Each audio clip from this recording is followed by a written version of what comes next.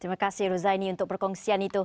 Seterusnya, lebih 600 pegawai dan anggota Jabatan Bomba dan Penyelamat Malaysia JBPM Terengganu bersedia digerakkan sepanjang Ops Raya sempena Hari Raya Aidilfitri kali ini.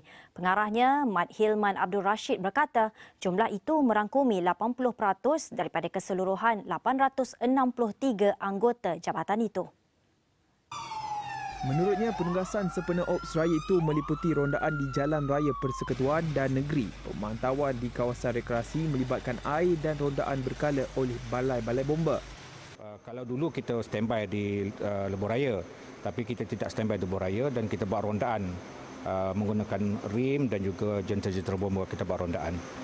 Dan um, uh, agak menariknya sedikit kerana tempoh PKP ini kita dapat mengurangkan uh, jumlah panggilan kebakaran. Lebih kurang 240 panggilan kebakaran kita dapat kurangkan. Tetapi masuk saja bulan 5, kita ada peningkatan.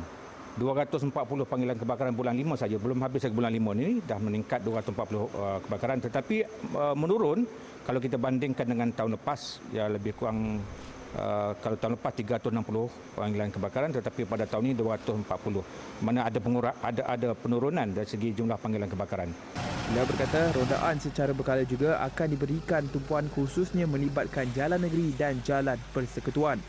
Jelasnya, 8 kawasan yang kerap berlaku kemalangan maut dikenal pasti seperti Jalan Jerangau Jabor dan Rantau Abang Dungun.